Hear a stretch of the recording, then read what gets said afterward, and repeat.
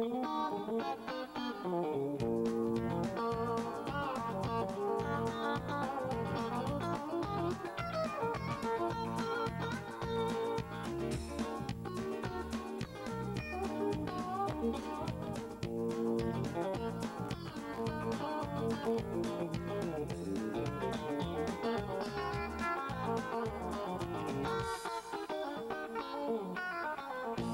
folks, my name is George Kubik and welcome to my leather shop here in Tucson, Arizona, a little studio I like to call GC Custom Leather Company. I'd like to take this opportunity first of all and thank you for buying my videotape, How to Make Custom Quality Knife Leather. And it's with my sincerest intentions that I plan on helping you not only build a better quality knife sheath, but one that'll complement the knife maker's craftsmanship, as well as making one that's a complete knife using system using the principles of fit, function, and appearance. Now whether you're a leather worker looking for some new and challenging projects, or a knife maker looking to learn or improve your leather sheath making abilities so that you can increase the quantity of your knife sales, or you're an outdoorsman, a serious knife user, or somebody who just likes working with their hands, well then this tape is ideal for you. Because I'm going to take you through the step-by-step -step processes that I use for building what I like to call custom quality knife leather. We're going to be looking at every aspect of this particular craft, from pattern making, leather selection, use of tools, edging, burnishing techniques, hand molding, hand sewing, decorative touches, final finishing techniques. There's going to be absolutely nothing that I'm going to leave out of this videotape. Alright, the two projects that we're going to be building today on this video are two of the more popular style of knife sheaths and scabbards. Um, the first one will be the ever popular deep well wet molded pouch sheath. This one is designed to fit one specific fixed bladed knife. It's great for utilities, hunters, and straight back knives. We're going to show you how to incorporate the use of welts and the back hanger on these particular style of sheaths. The second project we're going to be building today is the fixed bladed scabbard style sheath. This one's um, also very popular nowadays. It uses the wraparound strap. We're going to be doing some decorative touches, basket weave, and a Spanish coin cover for the, the cap. We're also going to be looking at how to build a sharpening steel pouch for the front of uh, scabbard style sheaths and everything else that you'll need to know to build these yourself. Before we actually get started building these knife sheaths, we have to have a few uh, tools and material that'll make life a little bit easier for us. Uh, the very first thing that we definitely want to make sure that we have of top quality, and that is the leather. Vegetable tanned, 9, 10 ounce 10, 11 ounce uh, is excellent for knife sheaths and scabbards. The most important thing is that it's firm and clean. Uh, we do want a tight piece of cowhide. And again, the most important part is that it's vegetable tanned, not chrome tanned, uh, as those have an excessive amount of tannic acid, which will affect the knife blade. Um, it's very important to look at the back of the leather that you purchase, either in double shoulders or in bends. Um, if you have a piece of leather that looks like this, you definitely want to run away from it. Um, the nap, the flesh side of the leather is fuzzy, spongy, and we don't want to use this whatsoever.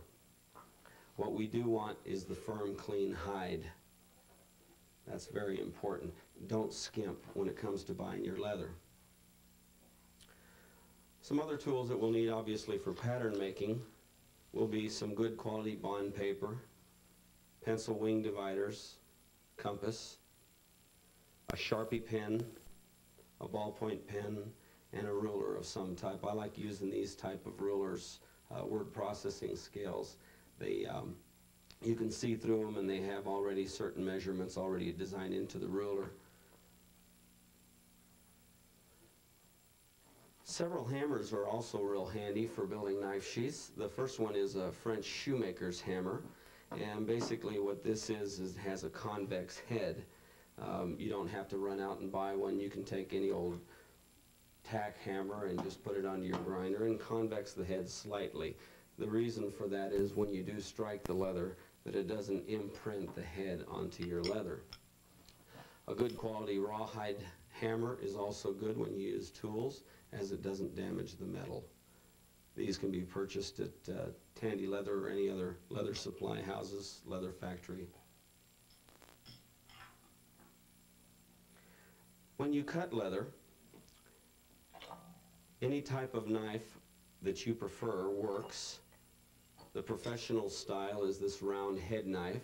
It isn't really necessary to purchase. It does come in handy for certain uh, aspects.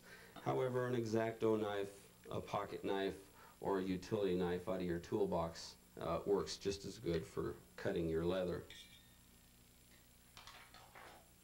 A strap cutter for cutting straps for your scabbard style sheaths and your wraparound straps are handy. You might want to get you some bulldog clamps at the uh, office supply store.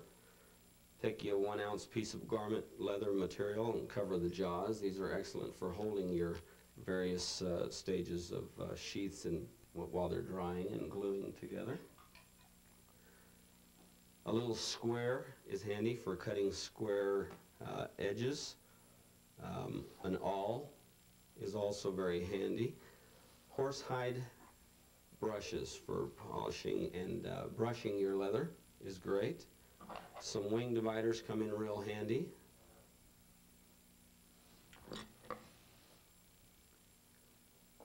A gouge is also necessary for when you're cutting the grooves in, in uh, folded leather. These tools here are items that you'll need to pick up at the leather supply shop because this is the only where, the place that you can get them. And this one here is a stitch marker. It gives you uh, five, six, seven stitches per inch. Six and seven are a good all-around uh, pair to have. These are groovers. They come in straight and edge groovers. They'll make a little recess in the edge of your leather, and you'll see how all of this stuff works when we get started with the building process. Uh, a name stamp, if you're a knife maker, you usually stamp your knives. Uh, leather workers, you should just be as proud of your uh, items as, uh, as everybody else and you should mark them. Let people know that you made them. A carving knife that I've altered is also handy for cutting in grooves. You'll see how that works for hand sewing leather. A chiseled screwdriver. Take your screwdriver, chisel the very tip, and then polish it, and that's great for cutting corners. I'll show you how that works. There are certain applications in uh, sheath building that you'll require uh, to skive the leather, and uh, this skife is uh, another item that you can purchase at the supply house.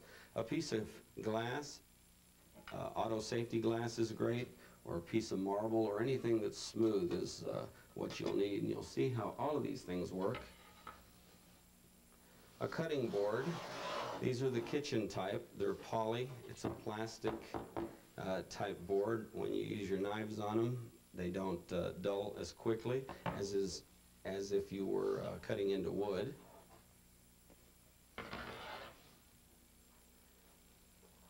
For edging techniques, also two edging tools. The number one and the number two are the most popular and you probably won't need any of the others. Burnishing waxes. Take some beeswax, melt it with your favorite shoe polish, brown or black. Um, be real careful though when you make these because the, the melting point, the flash point are quite low. Um, these are excellent. Edge paints. These are on the market. Excellent for dyeing your edges.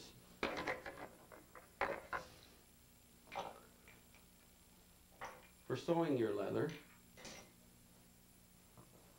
you'll need some sewing thread, and the best thread that I have found, I've been using it now for 10 years, is a 50 pound test braided micron fishing line. Uh, this is probably some of the finest sewing thread that you can find. Um, it dyes well, it's strong, it doesn't rot, it doesn't fray. Um, th- this is just the best that there is. Beeswax, harness egg eye needles, double lot, single lot, one and two are handy to have. When you first start sewing leather, you'll have a tendency to get raw. Um, you'll raw your skin on the insides or outsides of your fingers here. So just take a little bit, some leather scrap, build you some leather covers, and that'll help you when you sew leather. Some needle nose pliers, take a piece of tubing, wrap it around the end, it'll help you manipulate them so that you don't have to open them. That's real handy. Cements, barges type cement is very, very good for leather. It's a contact cement basically is what it boils down to. Barges, Tandy, and even just standard contact cements on the market work great. Whenever you glue two pieces of leather together, they should be scratched or the surf- surfaces should be roughed up. A leather scratcher here that you can buy on the market or a standard Dremel type tool with a burr head works real good because you can get that pencil control uh, as far as where you're burnishing.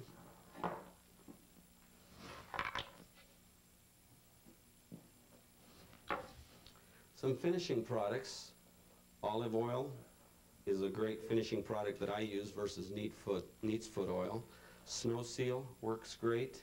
Any type of a paste wax that you may have is excellent. Reese's Texas Leather Polish is a good temporary final finish. Liquid glycerin saddle soap is very handy to have, and it also helps you make your rub rags. And these are these are items that'll help you um, smooth out the edges of your leather. And what you do is you take canvas or denim type material and you soak it in in the uh, liquid glycerin soap for uh, about a day, and then take it out and let it dry, and then for uh, polishing the edges. For dyeing leather, Fiebing's oil dye is the only thing that I could recommend is because it's what I use and I, I know the product works very well. Um, some other items, this here is nothing more than a spray bottle, water, it's an old hairspray bottle. All applications of leatherwork require the leather to be damped, damp or moist, and this gives such a fine mist that it allows you to control the amount of water you put into the leather. These items over here are just nice to have. They're not really necessary. This would be an old dishwasher motor or something to that effect, the third horse, half horse, with a drill chuck on it. It's great for making uh, edge burnishing wheels, for sanding drum wheels, for doing the edges. A Dremel drill press is what I use for drilling out the holes for the hand sewing. Or a free standing Dremel also is great for drum sanding and uh, drilling and any other aspects that you have in this, in this craft. Okay, these are the tools and materials that you'll need. And now I think it's time to get started. Let's build those knife sheaths. Okay, the foundation of every knife sheath is in the pattern. Uh, remember what I said earlier was fit, function, and appearance? Uh, this is where it all begins, right here on paper. All right, gather your pattern making supplies and your knife, and as always, be real careful when you're handling these knives. And uh, let's start with the deep welded pounce sheath. First thing I'll do is I'll go ahead and draw myself a reference line, pretty well center of the paper. Take your knife and you center it onto this line. The back tang and the very tip of the blade should be in line. Now very carefully roll it to your left and just let it sit there, just like that. Take your pen and just go ahead and do a tracing, keeping your pen perpendicular to the knife. Get a general idea of the outline of your knife.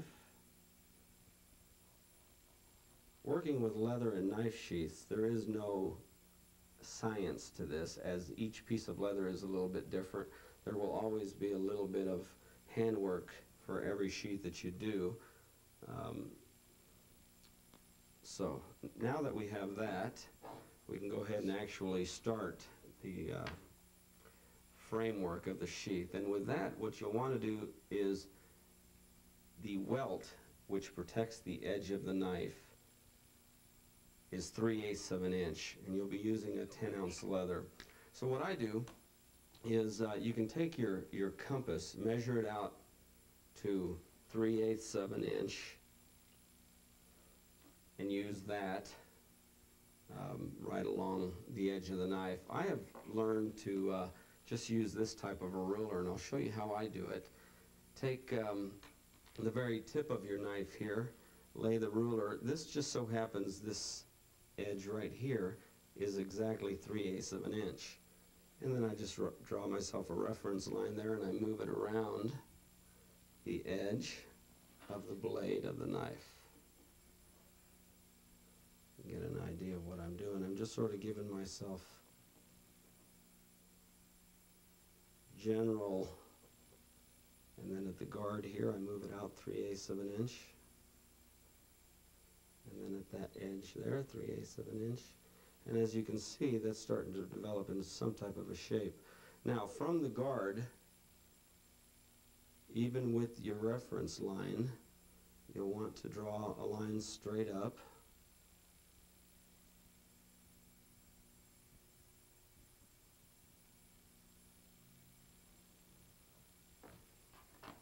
This portion of the handle. And this will all come into, into play as, as, it, uh, as it develops here.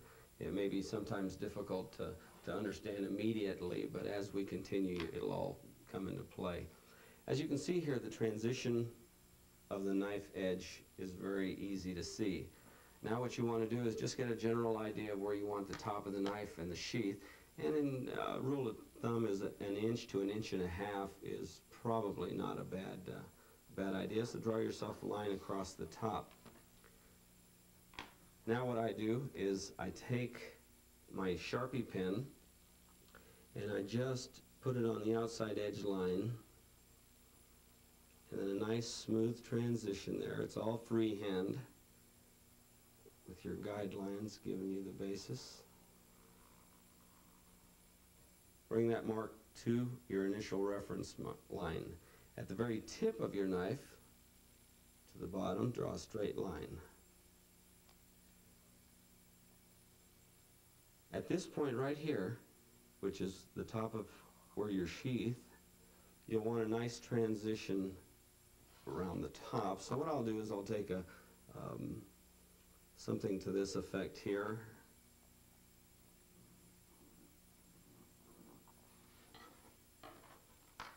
Draw you a nice uh, smooth flowing line. Okay, now that is the basic shape of the sheath. Now what you want to do is you want to bring this line down here and then straight across here. Don't worry about anything else. This line also straight across. Don't worry about anything else. That, believe it or not, is your knife sheath. What you do now is you take it, you'll cut it out.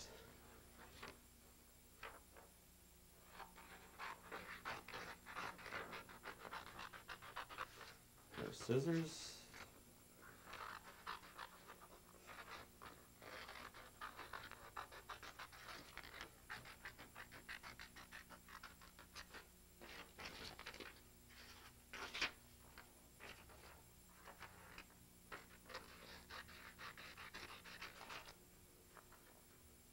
Don't worry too much about having excess paper here because you cut it off later. Just remember the paper is cheaper than leather. Now take your paper and just sort of fold it into the shape of the knife sheath. You don't want a real strong crease here, just a general fold. Take your knife, slip it into your paper pattern to where your markings are up front. See if that's how high you want the handle. Remember that uh, when it's on your belt, an inch to an inch and a half is all you need to grab it. The rest you want uh, in the sheath protected. And that uh, is satisfactory so far. So now what we'll do is just bend that top part down. Take your pin, trace the top.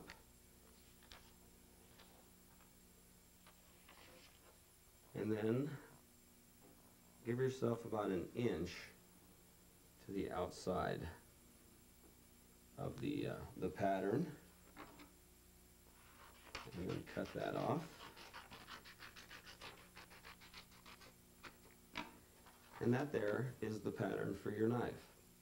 The next step is to take this particular pattern, a little rubber cement, onto a piece of cardboard.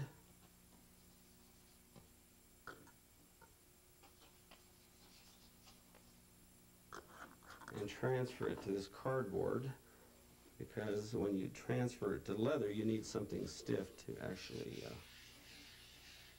be able to draw the pattern onto the leather.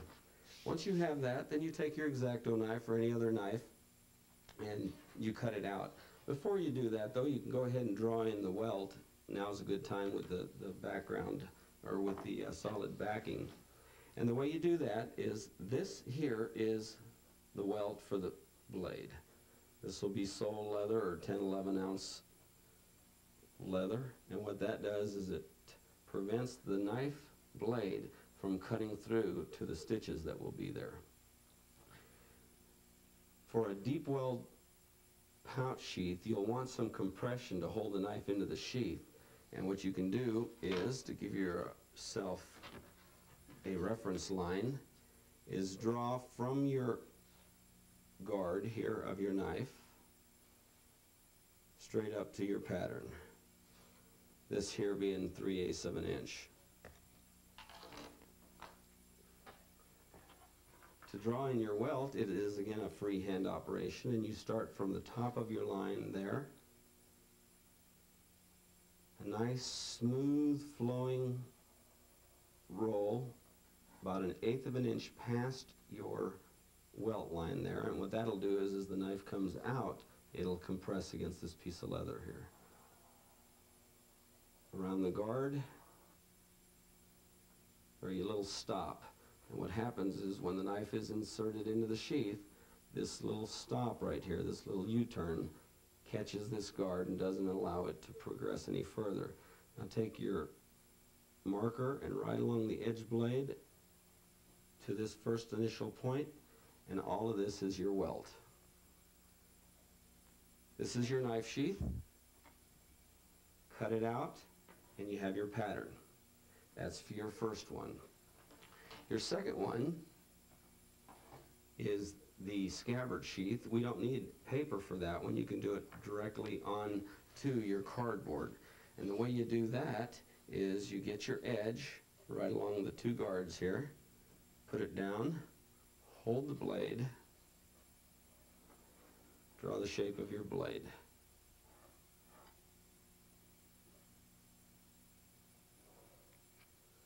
Once you have that, then again take your compass or your ruler and mark out your 3 8 inch welt.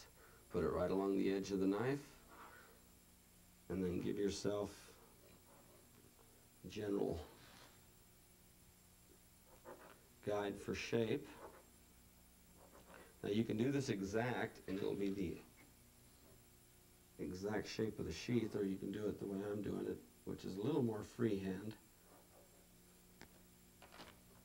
And again this is the shape of the front piece of your scabbard and what I do is I'll trace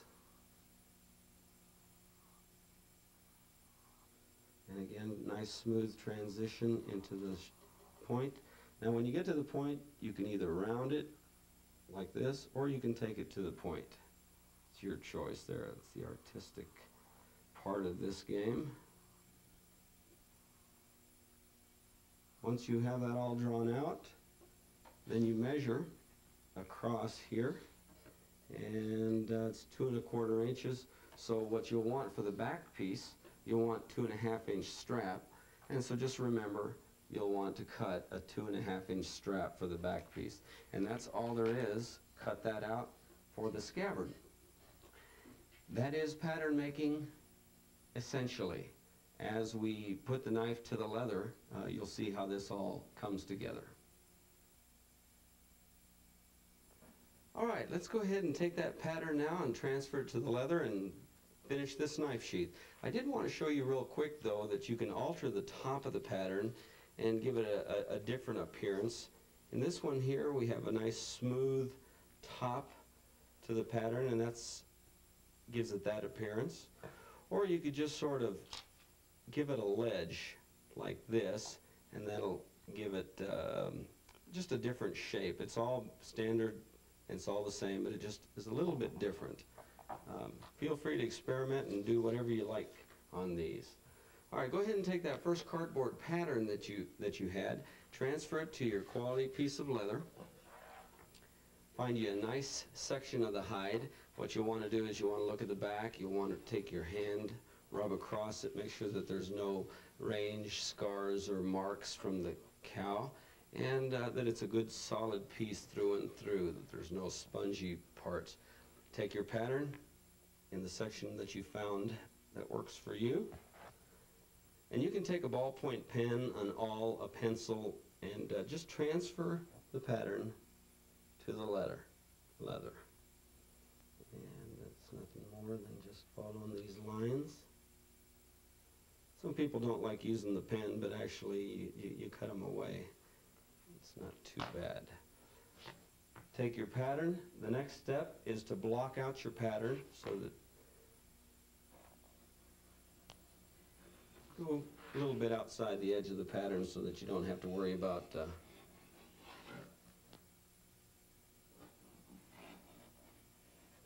and don't worry about saving an extra quarter inch of leather. If you're going to skimp that much then uh, then you're probably going to have a few problems.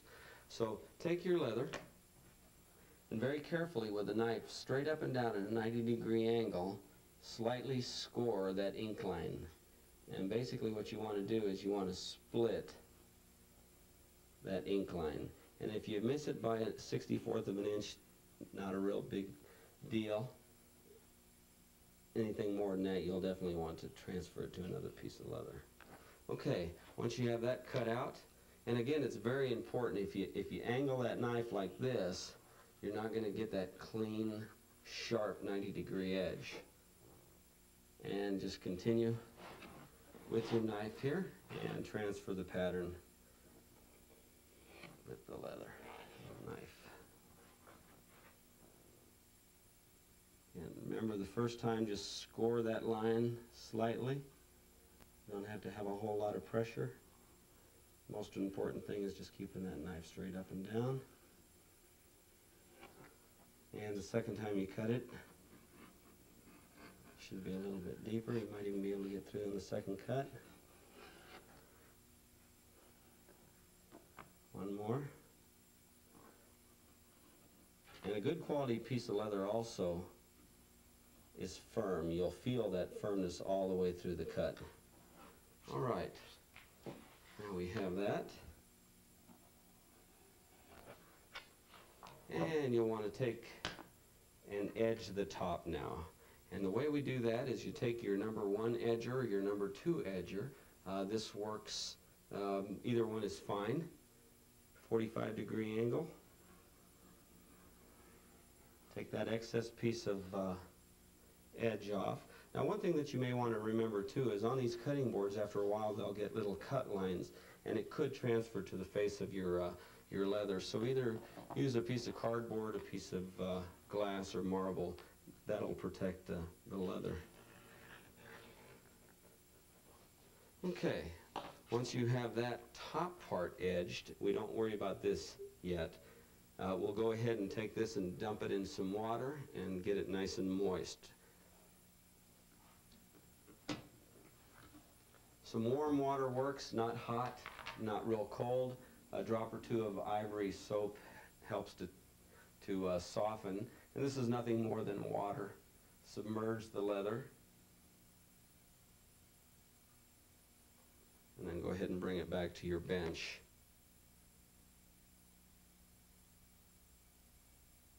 Okay, with the uh, leather nice and moist, you can take uh, a, a burnishing tool similar to this. This is nothing more than a piece of plastic with a rat tail groove in it. Um, a piece of wood, take a rat tail file, cut you a couple different size grooves in it, and then just take it and just run it along the edge like this while it's still wet. What that does is it forces the fibers of the leather to lie real smooth. That protects the edges of the leather. When it's all completed, it won't uh, allow moisture to seep in along your edges. This is uh, one thing that separates professional sheaths from, from the hobbyists is the time that it takes to do this. This is also where you can take that rub rag that's uh, glycerin soaked and just rub it along the edge. And that is real soft, smooth. It makes a real nice edge. Okay, the next thing we're going to do now is we're going to go ahead and put the welt onto this pattern. And the easiest way to do it is go ahead and take your pattern and just cut out your welt. And uh, go to the very tip of your knife, because that's the edge of your welt. Bring it down. And then this inside line here of your welt is what you want to cut out.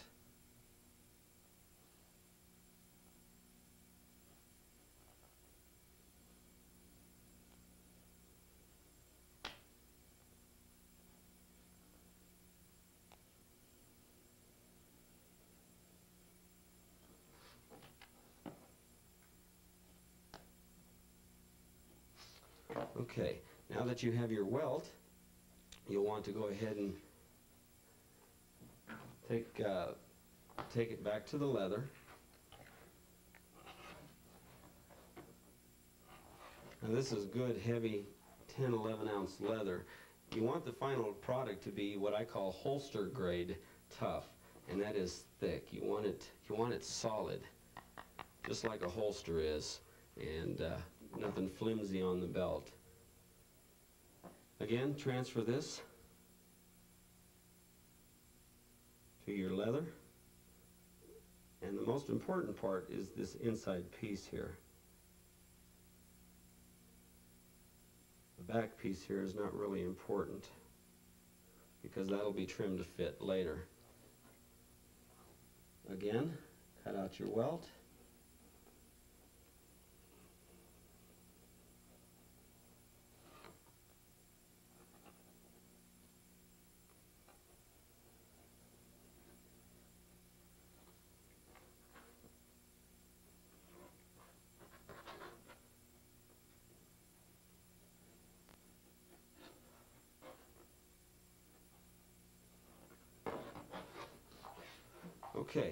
Remember, on the final product, it's very important that the inside of the sheath looks just as clean and professional as the outside. So what you'll want to do is you'll want to take this edge here and you'll want to go ahead and moisten it and then burnish it, same as you did the top here. And that is nothing more than uh, um, a professional touch. Go ahead and take the pattern welt that you had just made. Transfer that to your sheath, right along the edge there. Take an awl. This is not a pen, this is an, this is an awl, something sharp. And just transfer the outside edge of the, the welt pattern to the leather. That'll give you a little idea of It'll give you a little idea of where your welt is. And all of this has come from the initial pattern that you've made. Once you have that, give yourself a general idea for your, your welt. Nice here, you can use a pen because all of this is going to be cut off later. This is your welt piece. Now, take those uh, scratchers that I talked about earlier. Rough up the leather. What that does is it'll help give that contact cement something to contact to. And on the inside of your sheath, and now it's really important that you remember damp leather will easily transfer uh, um, to the cutting board, so you want to be real careful about that. take your your piece here, slip it on the inside. Now this is the flesh side, this is the inside. And this is nothing more than giving you an idea of where your glue is going to be. Okay, as you see, this shape is slowly starting to come into play. Take your scratcher.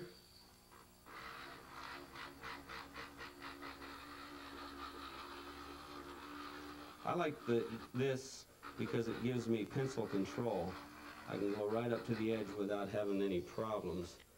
Uh, versus these scratchers where you really have to, you have, you have to be somewhat careful. Okay, take your contact cement, even when the leather's wet, this stuff works great. And again, remember, don't be in a hurry here. If it takes a knife maker 20 plus hours to make a knife, it should take a couple hours to make a sheath. Two hours is a good average time frame for a sheath. Take your time, don't skip any steps, stay in the lines, enjoy what you're doing, and the final product will show. Okay, glue the inside of your sheath. Glue your welt piece. And here again, this is the outside edge. Will be trimmed later. We don't have to worry about the glue. Okay. Let this dry. Sometimes it'll take 10, 15 minutes. A lot of times what I'll do is I'll take a hair dryer and I'll just run it across the glue.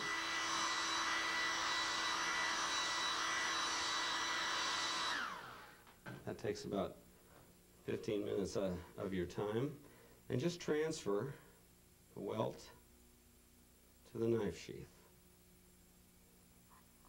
Press down with your fingers very carefully. Make sure you don't use your fingernails because wet leather will copy everything.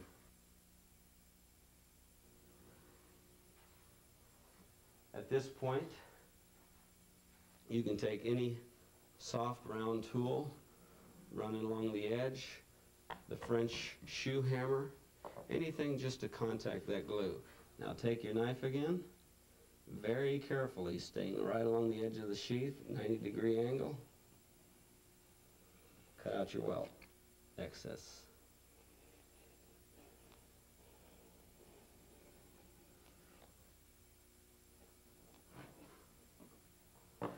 Okay, at this point, you have the inside welt built into the sheath. This is how it's going to work, just like your pattern. When the knife comes out, it'll compress that, and that's what gives it the compression fit, and it gives it that positive lock. Uh, when you pull a knife in and out of a sheath, you'll want that positive lock so that you know that you're not going to lose that $200, $300 knife. Okay, everything's working real good so far, and uh, at this particular stage, we'll want to go ahead and mark our uh, our welt line for the stitching. Remember we had put this on here earlier? All you want to do is take the pattern that you cut it from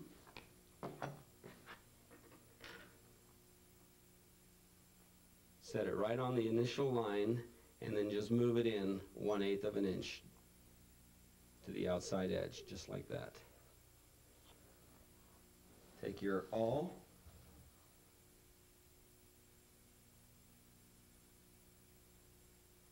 draw your stitch mark. By moving that in an eighth of an inch, you'll know that you have the welt here and that you have the sewing line nice and firm. Take your wing dividers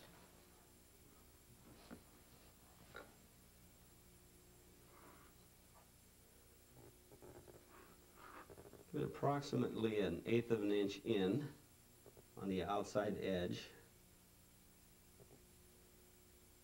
and that'll give you your line for your sewing.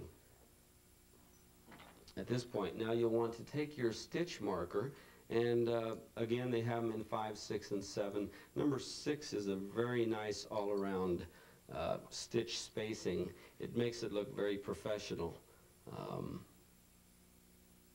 it's very pleasing and attractive. Uh, a number 5 just the stitches are too big and uh, it doesn't give it that custom look. Take your stitch marker, make sure that you're inside of the outside line there and transfer your stitch marker.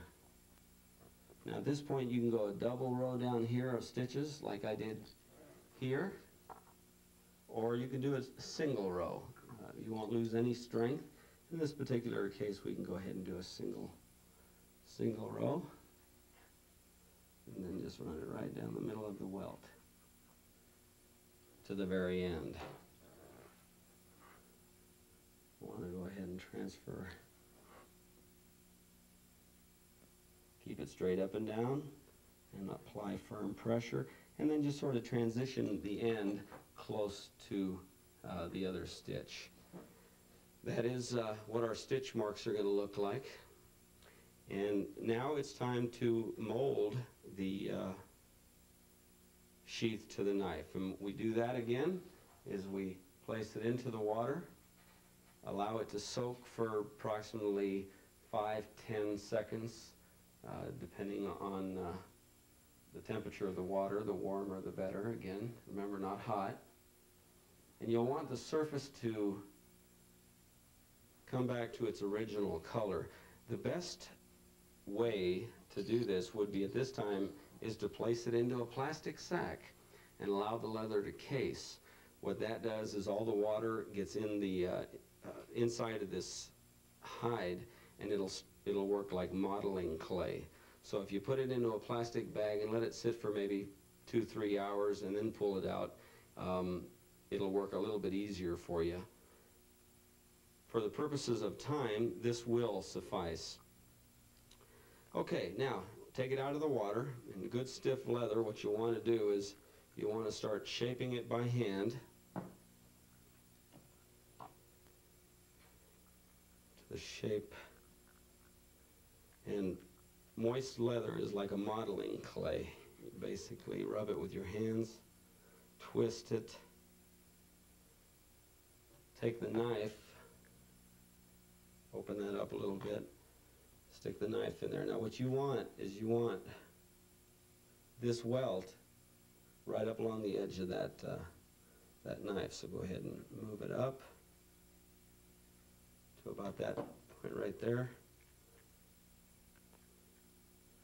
And you'll know that that's where you want that, so you go ahead and mark the outside of your sheath right there. Keep pressing and molding. On some real thick leather like this, a lot of times at the very end here, it's very difficult to, to uh, manipulate that down so that the welt is touching the leather. It's at that time um, that you can take your gouging tool, identify the true fold of the sheath by running a pin in there, open it up, Again, remember being very careful to protect your leather from the cutting board. Take your gouge and gouge yourself a fold cut. And what that does is it'll thin out the leather there, will allow you to fold it a lot easier. Go ahead and place it back on that line.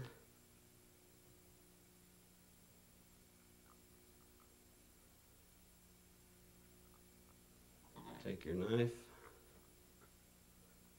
You should be able to get a good feel of how it's going in. Should be nice and snug. Open it up, take a look. Again, remember all of this came from your paper pattern. It's working just the way it's supposed to. This is the stop. Won't allow the knife to go any further down. As the knife comes out, it compresses. Leather is flexible. It'll push the leather away and then give you that positive lock. Again, when you insert it, it'll push that leather away and then pop right into that locking hold. Once you have it to where you want it, get your bulldog clamps. And again, remember anything that touches leather, and again where you had it, And if you need a little bit uh, more help in the folding part, you can you can give yourself a little bit of break by cutting that leather. That'll help you fold it also. Um, once you have all that down, take your bulldog clamps and set that to dry. And that needs to really dry for a, a, a full 12 hours. There's not too much more you can do with it at that point. Once, uh, once the leather dries, and if you'll notice, for comparison reasons, I changed the shape of the top just so that you can see. Once this item is dry, you can go to the very next stage, and that would be to drill out your stitch holes. The first thing that you'll want to do is, uh, I do want to show you that this is the pattern for the back belt loop, and I have provided this uh, pattern that I use uh, for uh, for my belt loops with with the video. And what it does is it, it allows it the nice smooth flowing back uh, belt carrier versus just a straight piece of leather that is pretty much the standard. And again, things like this separate the custom from the manufactured sheath. Okay, now what you want to do is give yourself a little bit of working room here.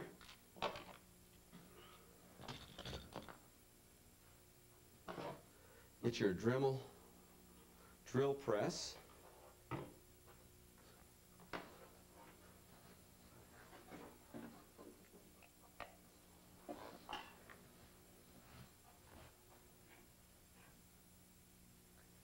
This can here is rubber cement. Now before you do anything on the back, with the sheath dry, take your rubber cement. It's not necessary to rough anything up because this is just going to be a temporary hold. Go ahead and put your glue on the inside welt.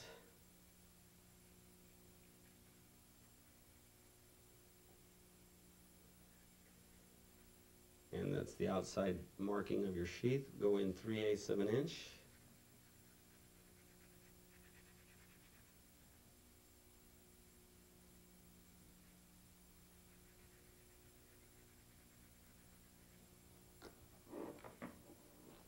Again, rubber cement, similar to contact cement, requires edges to be somewhat dry.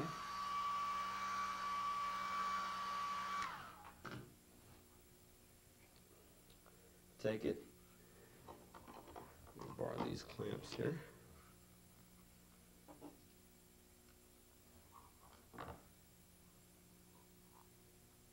And then allow that to set maybe 10, 15 minutes. For the purpose of the video, we won't need that much time. And then every once in a while, if you need to, you can take the knife and just put it in, make sure that it is going in the way it's supposed to, and that's a real nice fit there. And then once that's sewn up, that'll be just a real solid, solid fit. Okay, that's pretty well holding now. Now what you do is you take your Dremel drill press, and I use a 1 16th inch drill bit. Um, that is the same size as the harness needles that I use.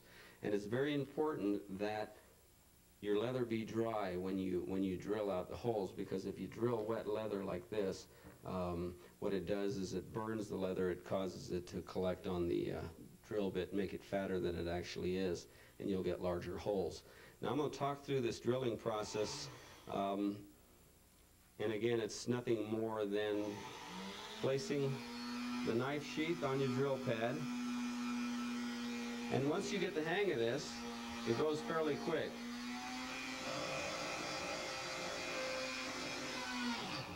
A little more power there.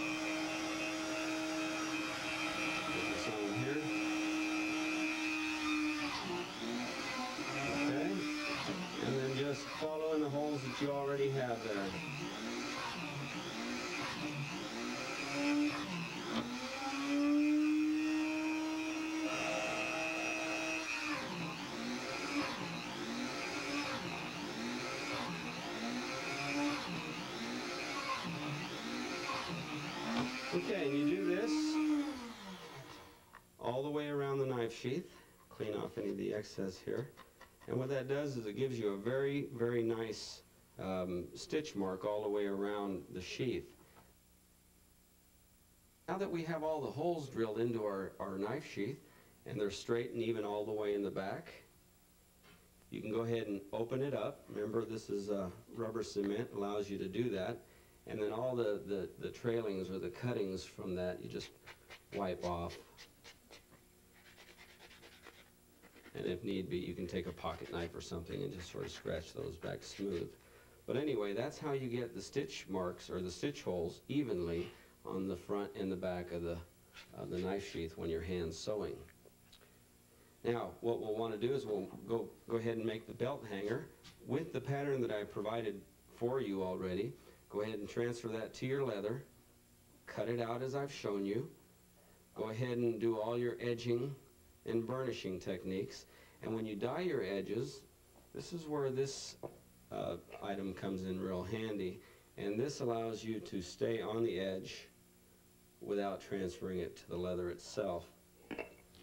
To uh, transfer your name, tape, name stamp or any other initials, decorative touches that you might have, um, get that bottle, that hairspray bottle with a fine mist, and then just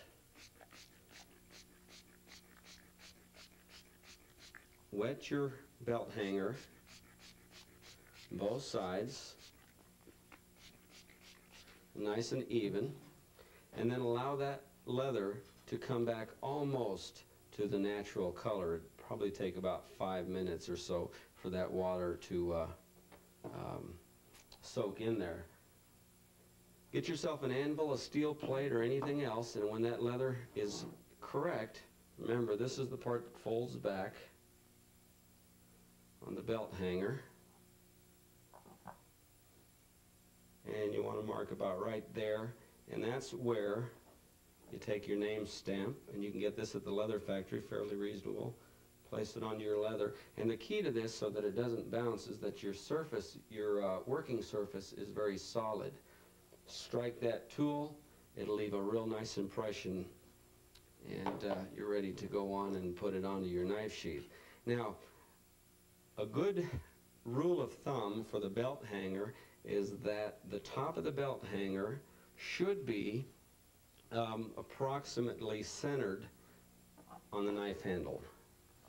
So as,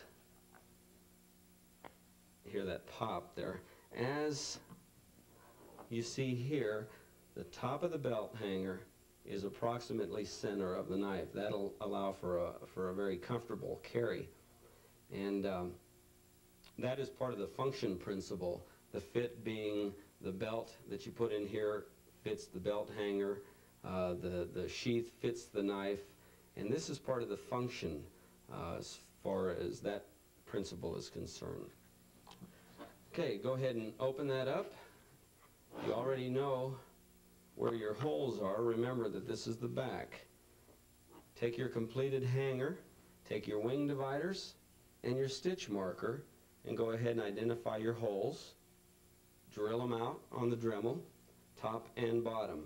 Now, there's one thing that you'll have to do and this is where your skife comes into play that I mentioned earlier, is where this is connected to the sheath needs to be tapered ever so slightly so that it comes to a nice smooth uh, thin point so that way when the belt is inserted um, it won't catch on the real thick part right here and the way you do that is is you moisten the very tip only. Allow it to saturate. The wetter the better, and that would be the tip only. Take your skife, which uses injector style blades, and then just run it along the edge. And what that does is it shaves a very thin layer of your leather.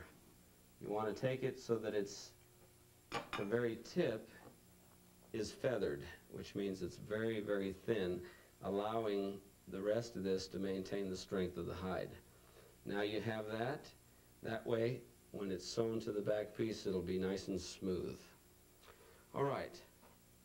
I went ahead and did that on this one. This one's all set. What you want to do now is you want to take an awl, open up your back hanger, And first of all, just place it onto the back of the sheath, fold this part down. What you want is that the turn of this belt hanger is configured with the stitch holes there so it's a nice smooth as you can see here a nice smooth uh, where they meet up. Okay and then sort of manipulate that a little bit with your hand get a general idea of where it needs to be and that looks like it'll work right there. Hang on to that with your other finger. Open that up. Make sure that you have plenty of leather under there and remember when that's sewed down that has to be right there and you take that and just transfer a few of the holes with your awl to the leather. That'll give you right here where you need to sew and glue. Now, um, the very first thing that we'll want to do is go back to the to the gluing stages and take your wrapping tool. Rough it up. Remember which is the back part so that you're not scraping up. We're going to give a little something to bond to.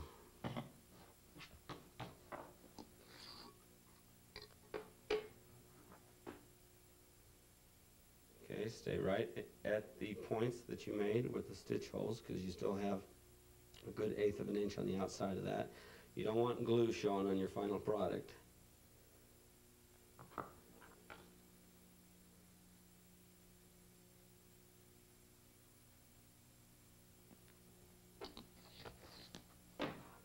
Okay, take that to your speed dry.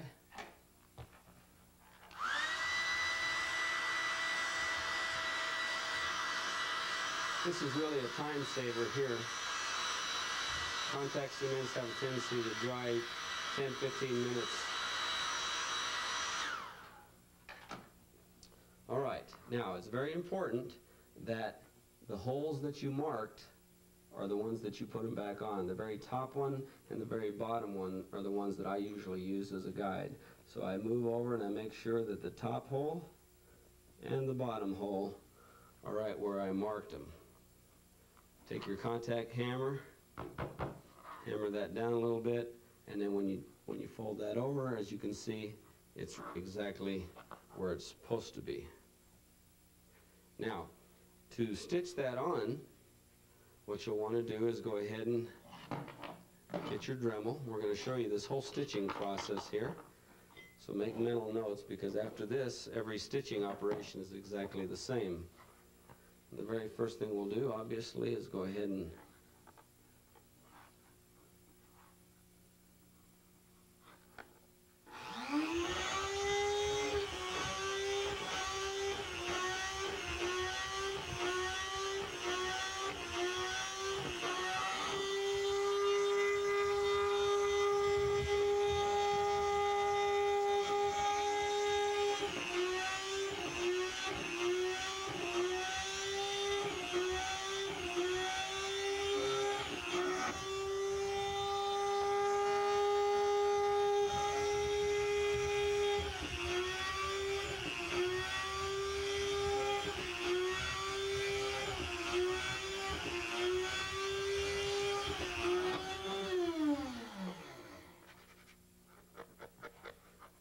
Okay, and as you see here, you've transferred the stitch holes to the inside of the sheath. Okay, one very important thing here, and all these little tips, tricks, and techniques here are designed for uh, professional leather work. If I were just to sew that, the stitching would be on top of the surface, would after a while fray from the constant drawing and resheathing of the knife. So what we'll want to do is we'll want to recess the stitches in there. And with that, we'll use a couple of different things. We can either use the manufactured item, which is a stitching groover, and you'll want to moisten this just a little bit, give it a little bit of moistness. Always helps. Take your stitching groover, put it right on the holes, and then just cut yourself a little tiny groove. What that does is it gives you a channel to sew. And you can do the same on this. Or I've taken a carving tool, a leather carving tool, and trans and reground the blade, and then you just sort of follow, gives you a little more control. Cuts you out a little groove. Transfer that. Okay, now that you have that ready, that's ready to be sewn. You take your sewing thread of your choice. Again, mine is that 50 pound braided micron. Um, there's a, there's a science in itself as to determine how much thread to use for a sewing product. Uh, for an item, say two and a half inches worth of thread, I would use something to, uh, to the extent of maybe 24 inches.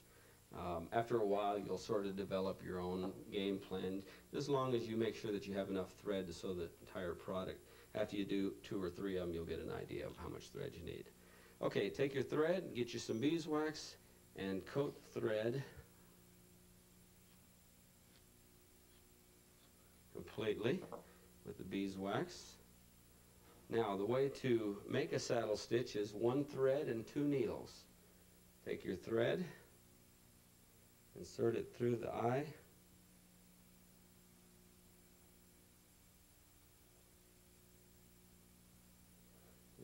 Give a little sharper point there.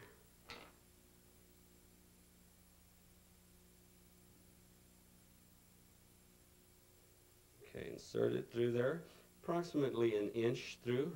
Bring the needle back down into itself, into the thread. Very carefully, just pierce the thread, not your finger.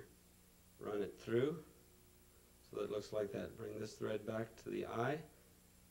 Pull your thread through, bring it through, and continue that until you pop it over the edge like that. Take it about an inch and a half from the end, and then with a twisting motion, twist it like that. Do the same on the other side, and then that's your outfit all set up for sewing uh, with what's known as the saddle stitch. The very first thing that we do is we take the project and we'll go to the second hole down. All the stress will be on the top couple holes, so you go to the second hole, push it through, bring both needles even, one on each end. Take one of your needles, and you have to make sure that you have all the holes drilled out.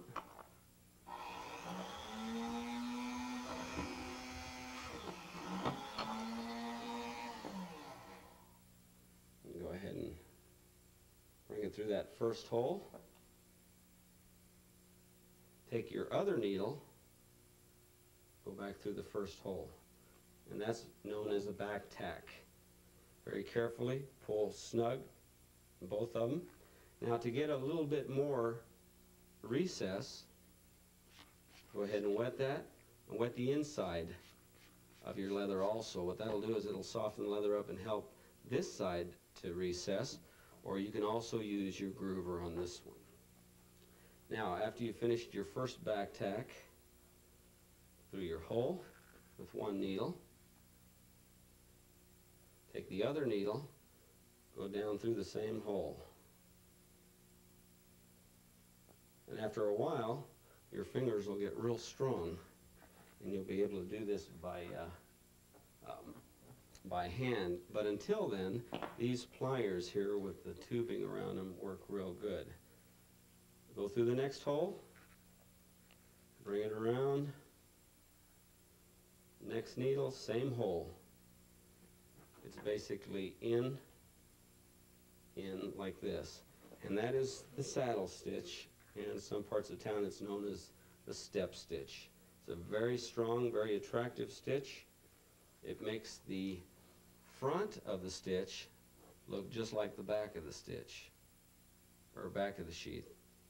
And uh, that's really important because on a good quality product, the front is just as attractive as the back.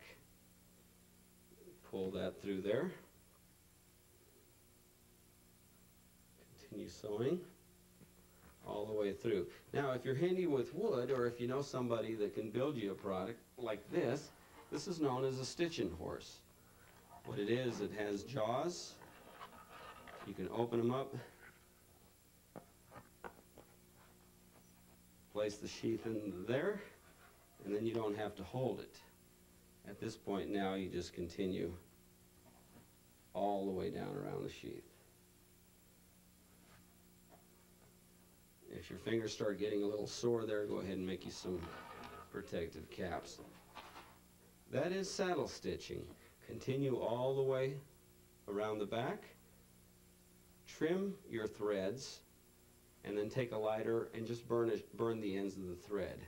When you finish that, transfer this, glue this onto the back piece here, drill your holes, and sew that piece uh, down also using the same stitch.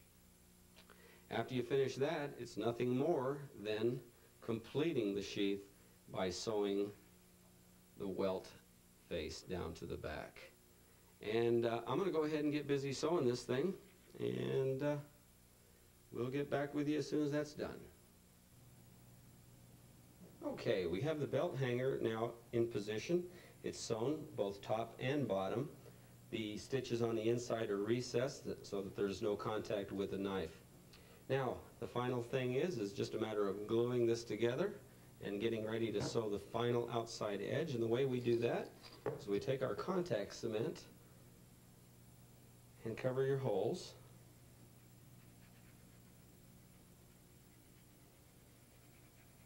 Again, making sure that you're neat, make sure that the glue doesn't go to the inside of the sheath. And all these little hints here are designed to make sure that you do produce a professional looking sheath. Okay, you have contact cement equal on both edges. We'll go ahead and take our hair dryer real quick.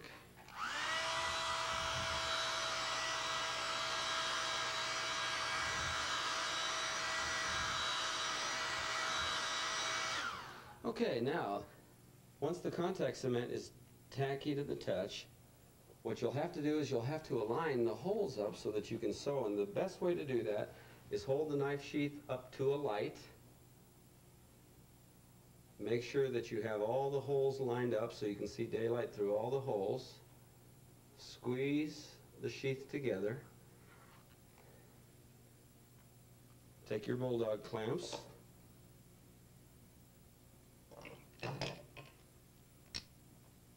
Set them on the edge of the sheath like this. Double check, make sure there's daylight coming through the holes. Set that aside for a few minutes. Then go ahead and get your sewing thread ready. And um,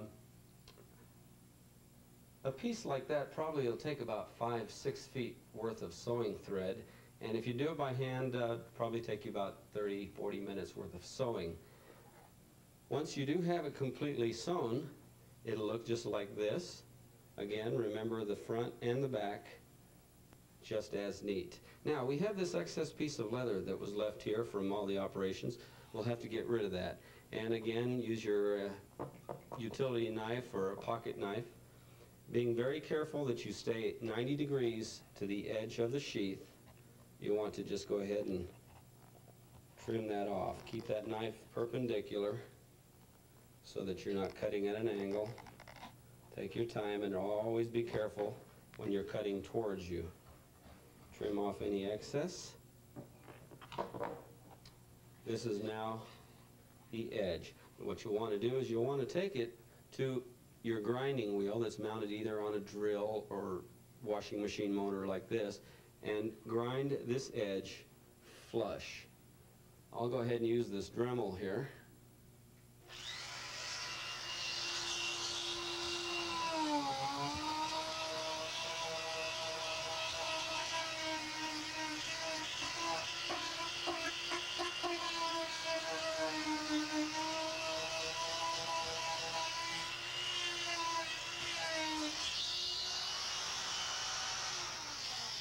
Also very important that you make sure that the sanding wheel is also flush with the surface so that you don't get any uh, crooked grinds. Now what you'll want to do, now that that's flush, if the front face here needs to be cleaned up a little bit, you can take the head knife lay it on your cutting board and just trim that off so that it's, it's a nice smooth point. Take your number two edger, remember you used the number one earlier, this one's a little bit wider in the teeth. Take that sharp edge off that you just made with the grinding step, take it all the way to the tip, turn it over, and again be careful where, how hard you press down on it. The sheath at this point should be completely dry though. Take it very carefully around the stitches so that you don't cut into any of the stitches. And now you have your edge ready for final finishing. Um, at this point, to make the edge nice and slick, they have a product on the market which was um, fairly hard to get a hold of years ago. It's, it's um, pretty common now. It's called gum tragacanth. It's uh, some type of a chemical product that uh, you paint on your edge and then you slick it up. I still like um, glycerin liquid saddle soap. What I do is I'll take a dauber and I'll just load up my dauber with 100% saddle soap here. And I'll take it and I'll paint the edges even the top here. And I'll get it nice and moist. Just the edges. Then you take your rub rag, which is again burlap or denim, and while it's all still nice and wet, go ahead and start rubbing it. Give you something to rub up against. And the longer and the harder you do this, the slicker that edge will get, and it'll look like glass after a while. And sometimes what I'll do is I'll just walk around the shop thinking about other things I have to do while I'm rubbing this. And sometimes I'll get carried away and go 20 minutes, but then that edge becomes so smooth and slick, I'll realize why I took the time to do it that way. Um, but anyway, work on it like that, and then that's your final edge material. And uh, as you can see, what I did in this step here is when this is completely dried, I went ahead and dyed it using this in this manner. The nice thing about this felt uh, edge painter is that it won't leak onto the front of your sheath. After that dries, polish it a little bit with a little paste wax and your edge is perfect. Now, what I do here for the final step of the knife sheath is at this point I, will either dye it and with that I'll take the uh, Fiebing's uh, oil tan, saddle tan or light brown, and I'll just dip it into the dye, and then using circular motion, take it all the way around the sheath. Wear rubber gloves, have plenty of ventilation, and then just do circular motion like this all the way around the sheath. Let it dry, not uh, with any type of a heat source or anything, and then in two, three hours it'll be dry enough. Take a polishing uh, brush, clean it off, put a little uh, finishing wax on there, and then what uh, made it this color was my olive oil. When it's all completely dry, I'll take olive oil, and I keep mine in a crock pot and warm it up just a little bit. Take a piece of sheepskin, shearling, and then just go ahead and put it all over the sheath. It'll look blotchy at first, but then it'll dry to a nice hue like this. If you want to, at this particular stage, when you're completely done, is take that Reese's Texas leather polish, give it one smooth temporary coat, and then you're done. Now, here you go. You have your final pouch sheath. Should be nice and snug. Hold the knife upside down. It shouldn't fall out whatsoever. If you did, you better start over. And uh, everything's ready to put on your belt and take out in the field and be proud to wear something like this. All right, let's jump right into project number two, and that'll be the full scabbard sheath. This is the final product here that we're going to be building. And uh, basically, this is for a large double-hilted scabbard fixed-bladed knife, such as this Marine Ka-Bar. Certain variations of this particular style that can be modified to include the front sharpening steel pouch, which I'll show you real quick how to put that together also. And the sharpening steel slot on the side of the knife sheath. These are all compatible with the scabbard style sheaths. All of them pretty typically use the wraparound strap. Um, these are necessary to, uh, to make sure that the knife stays in there. A lot of people don't really care for them, but they are an absolutely secure method of, uh, of putting, holding your knives together.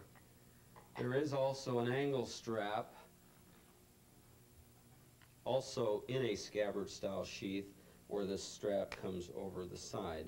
That's also an option with these knives. All right, well, the very first thing that we're going to do now is we're going to go ahead and take our pattern from the original pattern making session and we're going to go ahead and transfer that to our leather. And this is what you're going to have cut out from. Now when you measured this piece here, which is the body of the sheath, you're also going to need the back portion of it. And what you measured out was two and a half inches. Go ahead and get you a piece of leather, a large piece. I'm going to do it small here for demonstration purposes. Make sure that one end is completely a straight line. Cut it out. Take a strap cutter and adjust it to two and a half inches and then cut you a strap out. For this particular one here, for demonstration purposes, show you how it works. Basically take the straight edge of the leather against that strap cutter, place it in there, and then just pull. And that'll cut your straps out. It cuts your straps out for the back piece, and it also cuts out your straps for the snap cover. All right. This particular sheath employs two decorative touches that we're going to use, and the first one is the basket weave. The basket weave is designed as a, as a very uh, geometric pattern. It's very pleasing. It hides scratch marks, um, and it just takes it one step above plain. Um, also, we're going to place a centavo, Mexican Spanish coin, on the cap to give it a little touch of class. Cap uh, caps, the 24 line snaps that we're going to be using are pretty plain and dressing them up with the coins are really a nice touch. Okay, let's go ahead back to the basics here.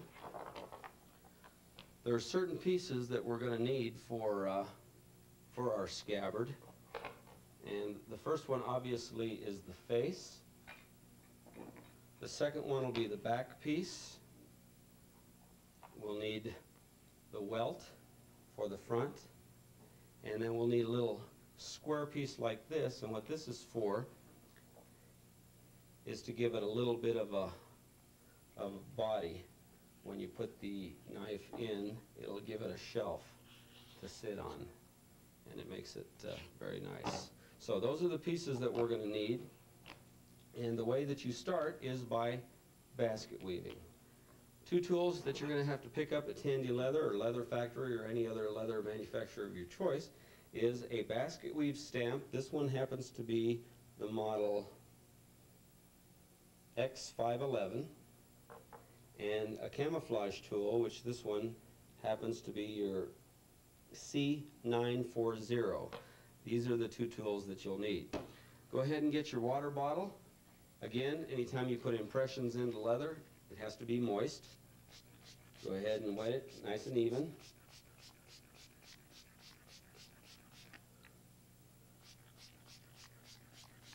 A little bit on the back too. Let that sit for just a few minutes while you're getting your wing dividers. And I might also add here, if, um, if you have a real large section to basket weave, you can even rubber cement this to a piece of uh, exposed x-ray film or a piece of cardboard, and that'll prevent it from stretching out of, out of shape. Okay, the very first thing that we're going to do is we're going to go ahead and give ourselves um, an outline of the actual decorative part. Now remember, the welt in this, this particular project is 3 eighths of an inch. So we'll go and we'll take 3 eighths of an inch just kind of give us an idea, that's where 3 eighths of an inch is. Our stitch mark is going to split that right down the middle. That's where our stitch line is going to be. So we'll use this 3 eighths of an inch as our border. Take your wing dividers and in the moist leather, give yourself your pattern area and basically close off a window in there. Okay, very next step is to take your face, take a ruler and at an angle, this is not a pen, scratcher, give yourself a line all the way across the face of the, the sheet. What that is, is that'll give you your guideline for your repetition stamp. Now, a piece of marble or a piece of steel or anything at all that'll give some resistance is what you use now. The leather is just about ready. It needs to come back a little bit more to the color, but for the purpose of this video, uh, it'll work. Again, just let it come back a little bit more to the normal color. Take your, your tool, set it right in the middle of your project, set it right on the line, these two ends here, and give yourself a stamp. Take the tool, now you can either turn it over, place the tool on the other side of that mark, make sure the lines are aligned, stamp. Turn it over, and basically like that. Stamp, turn it over, connect your two lines like that, make sure you're on the line, stamp. I'm going to pick up the pace here just a little bit. Nice thing about video is you can always play it at slow speed and see what's going on. And give yourself your spacing. Turn it over.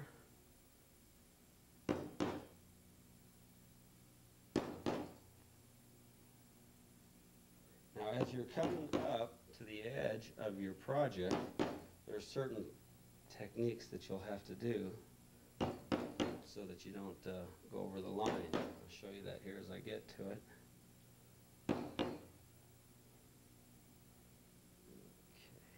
Okay.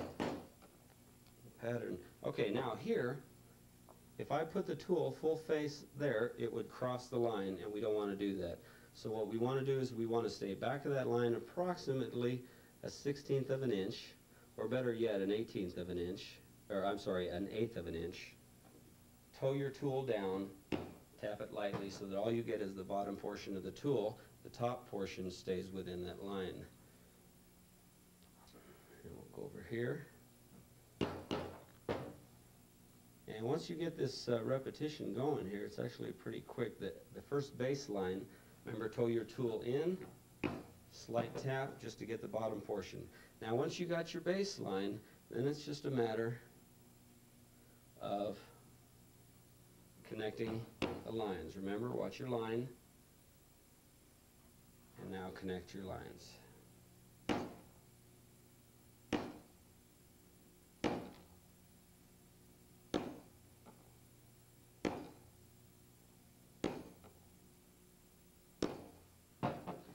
Think you can probably already see the pattern developing.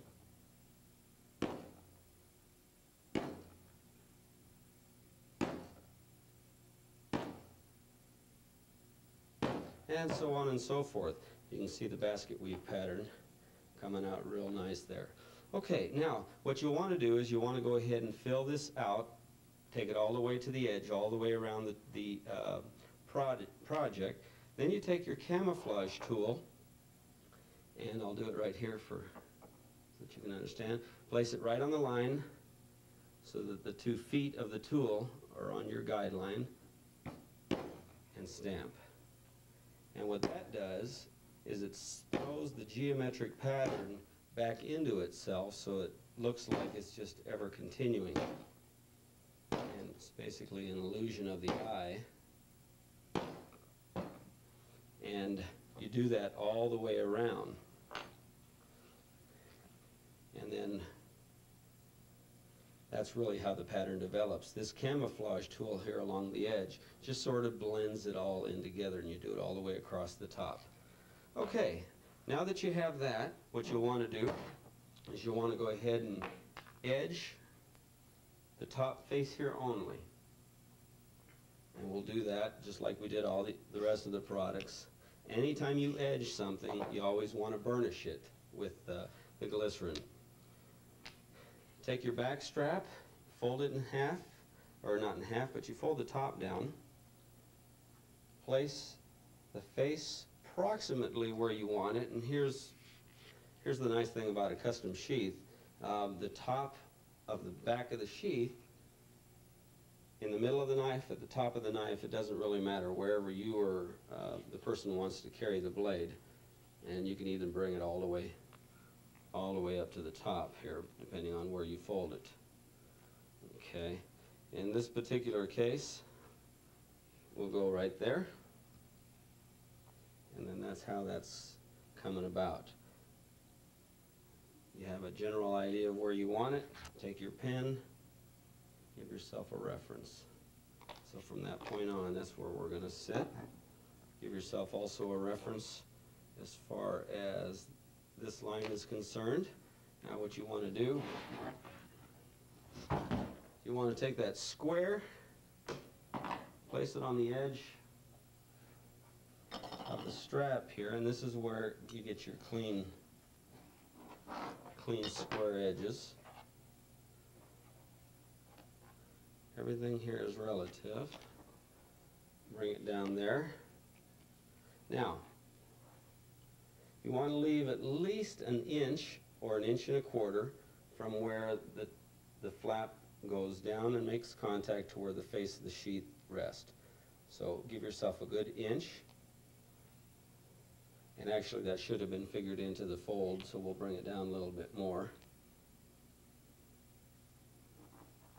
And we don't lose that much more off the top. And then square off your window. Very lightly give yourself some guidelines. This will be the top portion.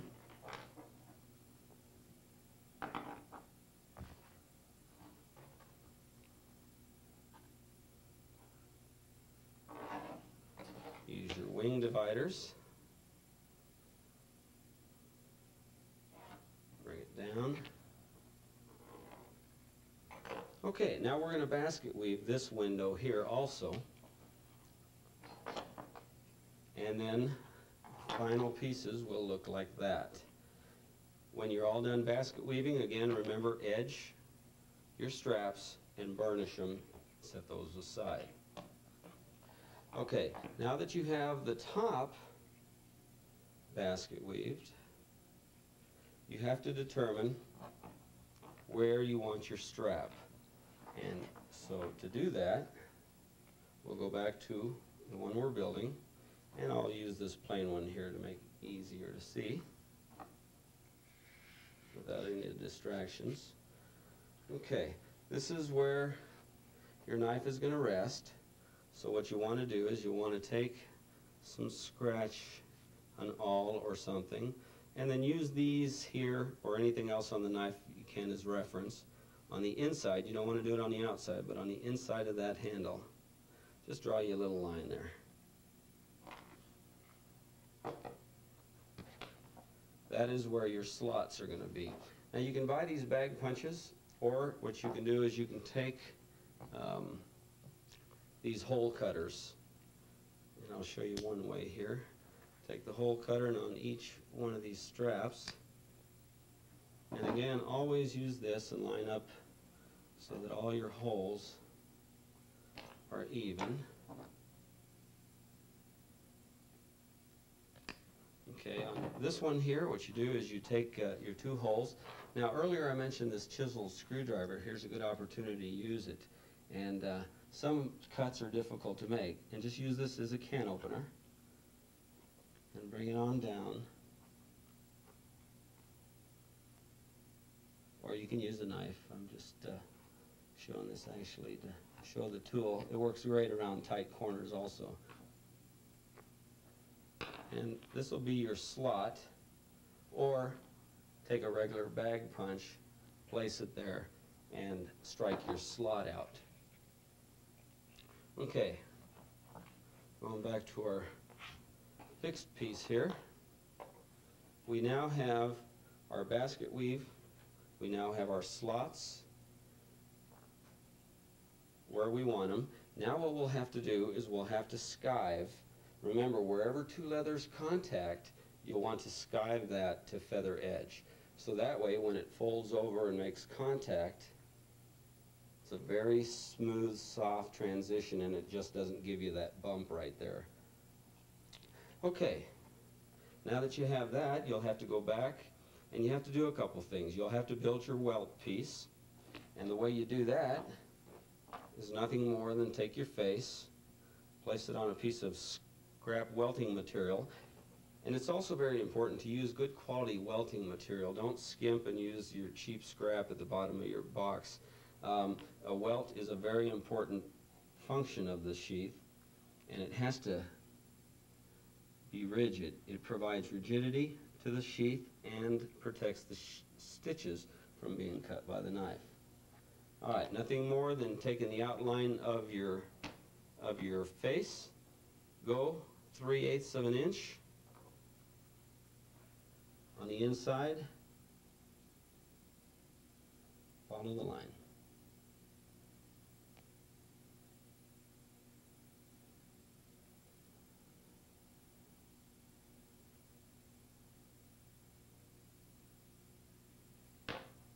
Then what you do is you cut it out.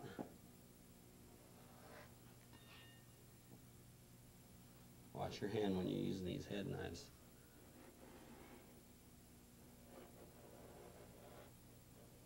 But anyway, you cut out your welt, both sides. Take this plug out, you can throw that away, that's scrap after that. And then go ahead and glue it to the front face just like you did the other one. This is your welt. Remember, the inside of the welt needs to be finished just like everything else. One additional thing that we'll do on this scabbard style sheath is we'll add this back shelf piece. And with that, it's nothing more than just a piece of plug leather. Once you have your welt on there, glue it to the back. Like this. That'll give you your shelf. Remember, feather edge this also so that when it does contact the back face, it's all very smooth in transition. Okay, now we're up to this part here. This piece is, is put on there. Again, all that does is provides a shelf for the knife as it's resting on the, on the back piece. At this stage, what you want to do is you want to go ahead and put in your stitch marks. Remember, 3 eighths of an inch split that exactly, run your line all the way around. Take your groover. Now they have a special groover that makes it real nice whenever you groove an edge. You just put this piece there and you follow that edge all the way around and that'll give you a groove. When this is completely dry, it's still raw leather. And at this stage, you can go ahead and take your dauber and dye it let it uh, dry for a good eight, ten hours, and then go ahead and get back to it. This here has been dyed with uh, saddle tan. It's an oil dye, a very attractive color. The edges have been smoothed with the glycerin. All the top edges here have been smoothed. Now it's a matter of putting on the strap. And the way we do that is we have our strap cut, and I usually start with about a six, seven inch piece. You don't need anything that big, but uh, it, it's good for starting. And uh, another little trick of the trade here, which comes in real handy, is get yourself a 9 16th wood boring bit, punch your hole, and it should be a number 4 hole, into the end of your strap. You can either come to a point or nice and rounded. They have tools that'll cut that, or you can put a nickel on the end of that and trace around it, give it a nice effect. Turn it over onto the flesh side bring this to your drill press, put it in there, and then bore yourself a little recess in there. Take your 24 line snap, this will fit into there, and when you push it into there, it's below the top surface of the leather. To set it, you take your, your stud and the socket there, and you get your tool, which are, in this particular case I'll come over here for some more support.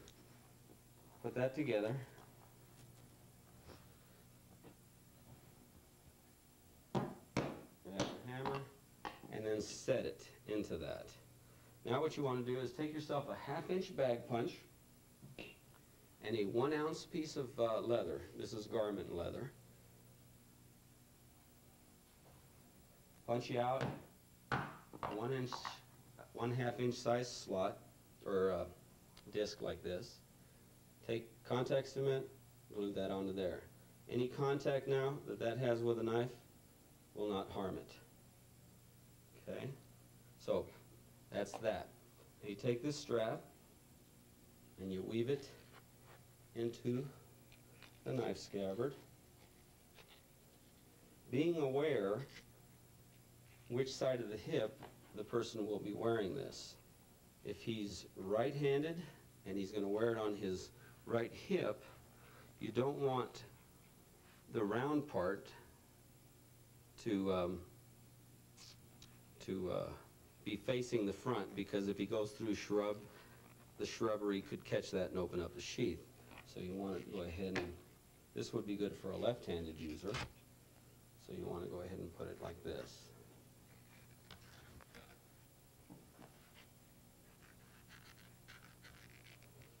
Okay, while this is all still unglued and unfolded, you're doing all these steps here, and these are fitting steps. Take your knife, put it in, take this, manipulate it a little bit so that it's in the center of the knife handle. And there's no science to any of this, you have to manhandle it sometimes.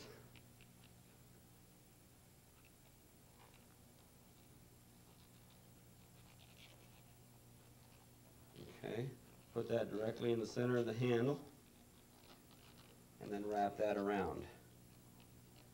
Press, and what that'll do is it'll give you on the other side an indentation of where the snap cap goes.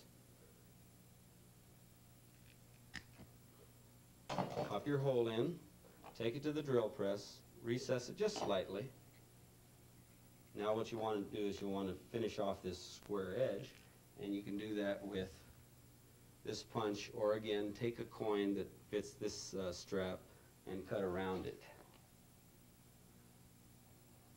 Give yourself about three quarters of an inch to an inch away from the snap. And go ahead and finish off with your 24 line snap. And stud socket. Set it on the finishing or on the setting tool.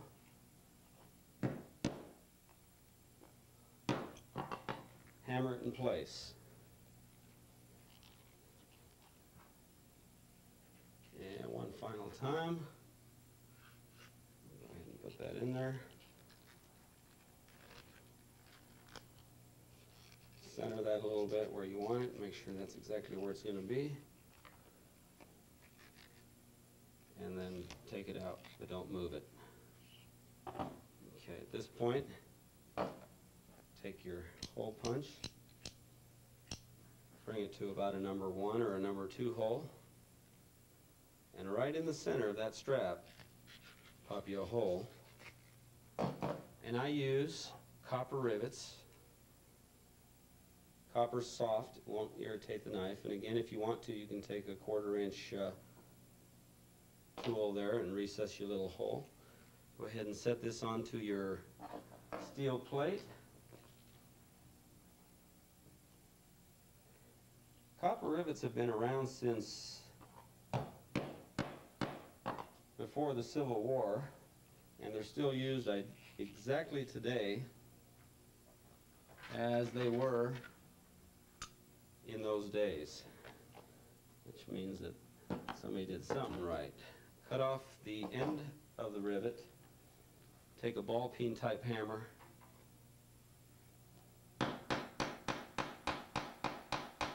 and flatten it, run your finger across it to make sure that there's no copper rivet exposed.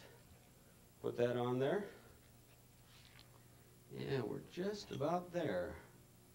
Coming along very, very quick. Okay, um, take, excuse me, take your contact cement, yourself a reference line here.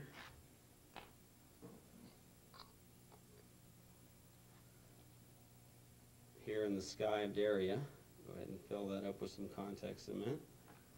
There's the bottom of the line, so you want to go above that.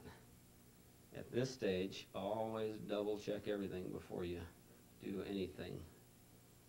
Because if you were to go below the line a little bit, it's not that drastic at this particular part, but um, a lot of time that you've spent on this product. Okay. Now, we have that all set.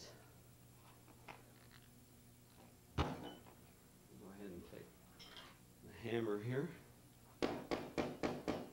Make your contact.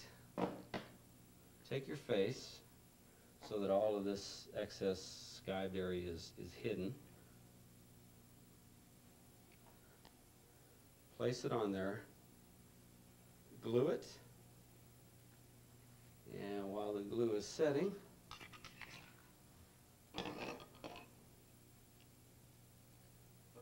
take your dog clamps. Let it sit. From this stage here, what we'll want to do obviously is we'll want to go ahead and drill out your holes. If you want to do it uh, the old-fashioned way, uh, Tandy Leather and Al Stohlman have a great book on the market. It's called How to Sew Leather. And uh, using the old awl method, you can uh, sew it together. Anyway, finish the final stitching. And if you'll notice what I did on this one here is I took the regular thread that I'd mentioned earlier and I went ahead and dyed it the same color, the saddle tan, as, as I did the sheath. Uh, this has been oiled from this color, and this is the color difference you'll achieve. So if that's attractive to you, you can leave it. If not, I, I like a little bit darker of a stain. So anyway, dye your thread and then sew it and it'll match the same color of your sheath. When that is all complete, and it's sewn and you've trimmed away the edges and you've ground it and you've edged it and you've burnished it. What you want to do is go ahead and put your knife back in the sheath. You have your snap cover here and I used the same tool that I used um, uh, earlier and that was the uh, the um, scratcher. But you can take any kind of a metal device, scratch up the face of your 24 line cap now what I do is I take these centavos.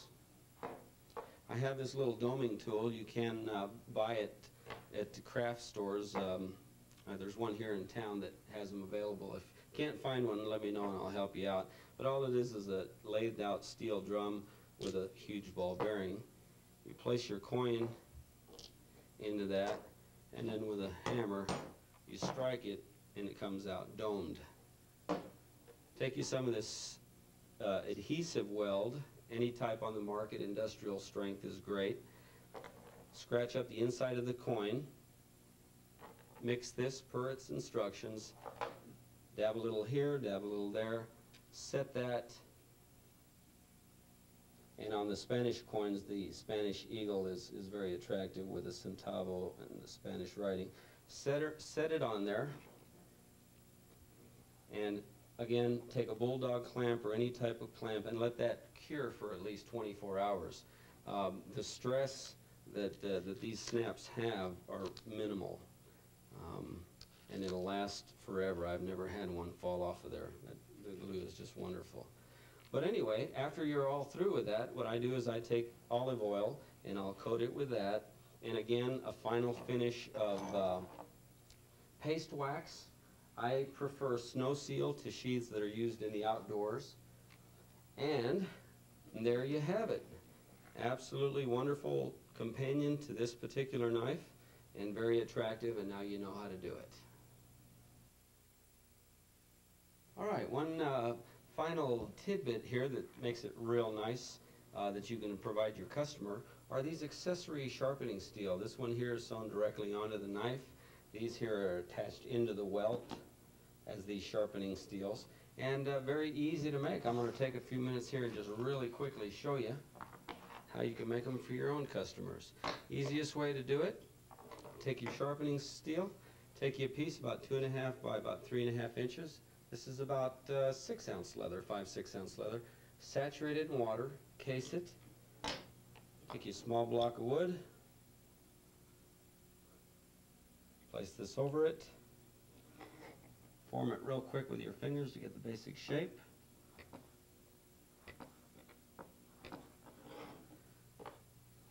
Two pieces of wood. Push it up. Hammer it.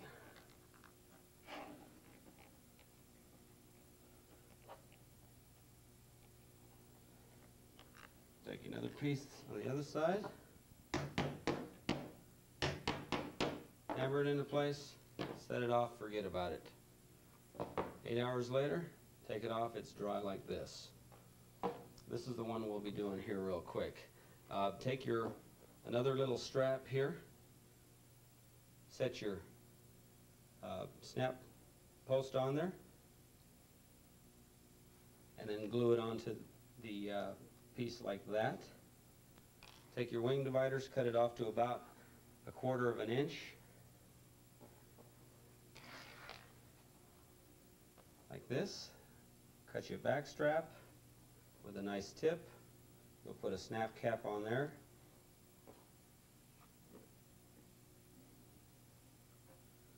Snap that onto there.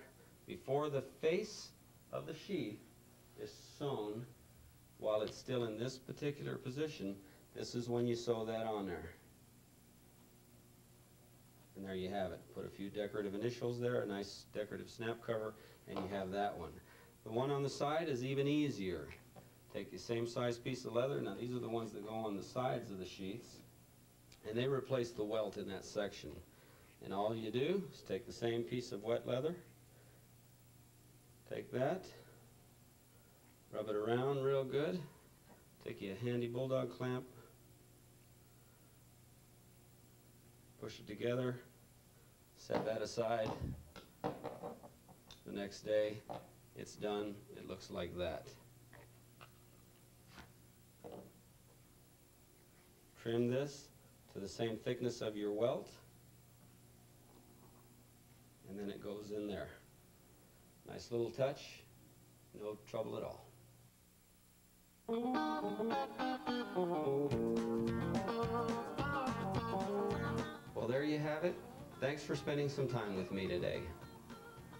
There are many more trade secrets in sheath making I have to show you, so to be included on my mailing list for future volumes, stay tuned for the information that follows.